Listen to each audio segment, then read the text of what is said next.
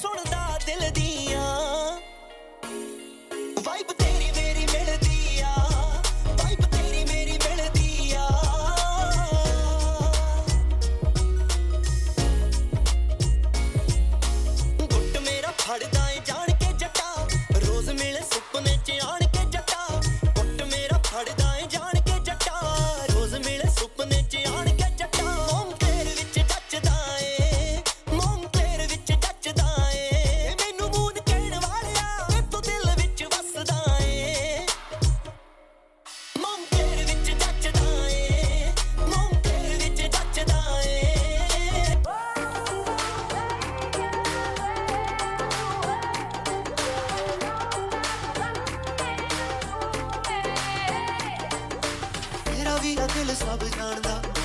ਤੂੰ ਜੋ ਮੈਨੂੰ ਜਾਪੇ ਕੋਈ ਖਾਣਦਾ ਔਰ ਹੋਰਾ ਰੰਗ ਅਸਮਾਨ ਦਾ। ਰੂਪ ਜਿਵੇਂ ਨਿਖਰੀ ਰਕਾਨ ਦਾ। ਜਿੱਥੇ ਜਿੱਥੇ ਜਾਵੇਂ ਪੈਰੇ ਰੱਖਦੀ। ਸੋਹਣੀਏ ਬਰਫ਼ ਵਾਂਗੂ ਠਾਰੇ ਗੱਭਰੂ। ਅੰਗਲੇ ਦੇ ਦਿਲ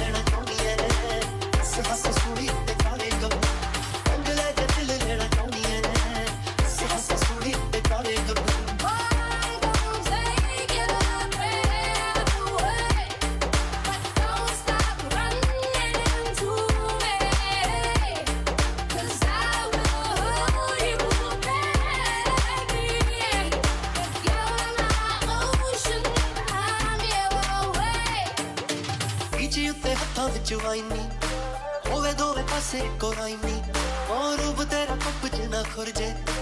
ਆਂਦੇ ਆਪ ਪਾਸੇ ਕਰੇ ਸ਼ਾਈਨੀ ਫੌਜ ਵੇਦੀ ਹੋ ਜਾ ਡੁੱਬ ਜਾਣੀਏ। ਪੱਥਰੇ ਤੇ ਸਾਂਝਾਂ ਵਾਲੇ ਸਾਰੇ ਗੱਭਰੂ।